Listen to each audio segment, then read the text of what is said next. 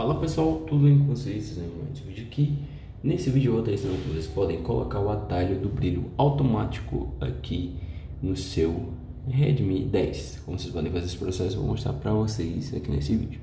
Normalmente o atalho do brilho automático ele fica nessa área aqui do painel de controle, mas pode ocorrer aí de estar tá desaparecendo. E como você faz o processo para colocar, o que eu vou mostrar para vocês aqui nesse vídeo.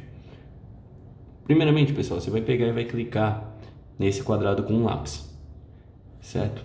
Você vai clicar aqui uma vez, ó, vamos clicar uma vez.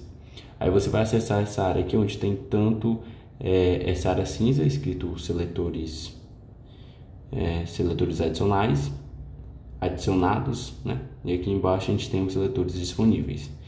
É, você pode ver que entre eles está o brilho automático, certo? Como eu disse, pode ocorrer ele vir parar aqui.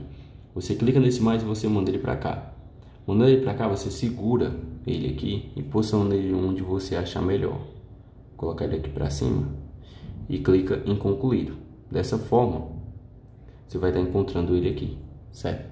Então, dessa forma você pode fazer esse processo. Eu vou deixar esse vídeo por aqui. Não esquece de deixar aquele like para estar dando notificação aqui no canal. Pessoal, até a próxima. Valeu e fui.